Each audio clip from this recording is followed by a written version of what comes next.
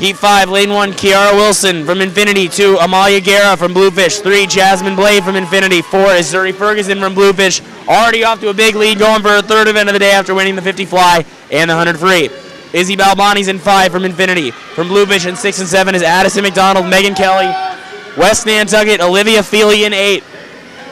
But look at Zuri Ferguson. She has been unstoppable today, winning three straight events in 30.63. What a swim. Balbani, Izzy Balbani, who was the winner of the 200 free, 33.79 is second, and 34.87 Blay is third.